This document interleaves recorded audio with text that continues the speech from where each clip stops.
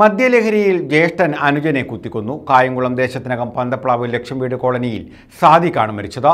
സംഭവത്തിൽ ജ്യേഷ്ഠൻ ഷാജിയെ police arrest ചെയ്തു.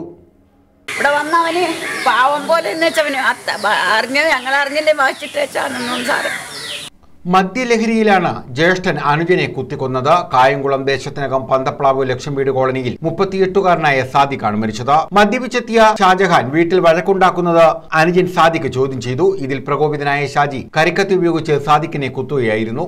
ഇവിടെ ഇപ്പൊ സഹോദരങ്ങൾ തമ്മിൽ എനിക്ക് തോന്നുന്നത് മദ്യം മദ്യപിച്ചത് അങ്ങനെ ഉണ്ടായ ഒരു വിഷയമായിട്ടാണ് മനസ്സിലാകുന്നത്. അല്ലാതെ പ്രത്യേകിച്ച് കാരണം ഈ രണ്ട് സഹോദരങ്ങളെ എനിക്ക് അറിയാവുന്നതാണ് രണ്ടുപേരും പൊതുവേ ശാന്തശീലരായിട്ടാണ് ഞാൻ കണ്ടിട്ടുള്ളത്. ഞാൻ കാണുമ്പോൾ കണ്ടിട്ടുള്ളത്. പക്ഷേ ഇന്നലെ എന്താണ് മദ്യപി മദ്യപിച്ചതിന്റെ പുറത്തുണ്ടായ ഒരു കൊലപാതകമായിട്ട് തന്നെയാണ് കരുതുന്നത്. സ്ഥിരമായി മദ്യലഹരിയിലെത്തി ഷാജഹാൻ ഭാര്യയും മക്കളെയും മർദ്ദിക്കാറുണ്ടെന്നും പോലീസ് പറഞ്ഞു. രണ്ടാഴ്ച മുമ്പ് ഇയാൾ അനുജനെ മർദ്ദിച്ച് തലയടിച്ച് പൊട്ടിച്ചിരുന്നു.